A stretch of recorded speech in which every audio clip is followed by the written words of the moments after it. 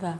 Bác sĩ Huyền Nga xin được trả lời bạn Huyền Trang. À, đó là một à, bệnh nhi bệnh nhân à, chẩn đoán là u lympho tế bào B ở người lớn và tái phát sau một năm điều trị. Bình thường với chúng tôi thì với cái điều trị phác đồ hóa trị chuẩn mực bước 1 dành cho bệnh nhân u lympho tế bào B lớn lan tỏa thì sẽ có khoảng 70% bệnh nhân đạt được một cái thời gian ổn định bệnh kéo dài và được coi như là điều trị khỏi. À, rất tiếc là à, chồng của bạn lại rơi vào nhóm mà tái phát khá là sớm sau một năm điều trị. À, như vậy thì có thể nói rằng cái cái cái khả năng nhạy cảm với phác đồ hóa trị của chồng bạn cũng không phải là là quá tốt.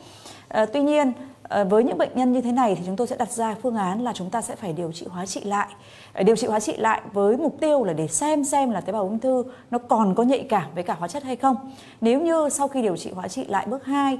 mà bệnh nhân đạt được đáp ứng hoàn toàn, tức là khối u còn nhạy cảm với hóa trị thì một phương pháp duy nhất có thể giúp điều trị khỏi hoặc là đạt một cái lôi bệnh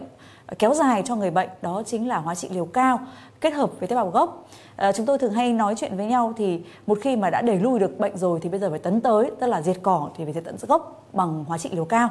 Và cái việc mà ghép tế bào gốc nó chỉ là cái phương pháp để hỗ trợ cho bệnh nhân hồi phục tốt hơn uh, sau khi được điều trị hóa trị liều cao. Bởi vì hóa trị liều cao thì sẽ gây nên những cái tác dụng phụ rất là lớn.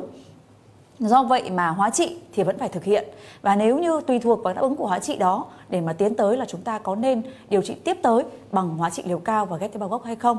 Ở những trường hợp mà kể cả điều trị lại bước 2, bệnh nhân cũng không đạt được lui bệnh, tức là bệnh vẫn tiếp tục tiến triển thì ở thế giới sẽ phải thay thay đổi sang những cái phương pháp điều trị tiên tiến hơn. Ví dụ như là sử dụng những cái điều trị đích kháng thể đơn dòng hoặc là sử dụng những liệu pháp miễn dịch như là chúng ta hay nghe nói đến là các T-cell thì à, cái này nó phải tùy thuộc vào đáp ứng của người bệnh cũng như là điều kiện vật chất cũng như là uh, và khả năng chi trả về mặt kinh tế của người bệnh để mà tiến tới là chúng ta sẽ sẽ, sẽ tiến hành điều trị theo phương pháp nào.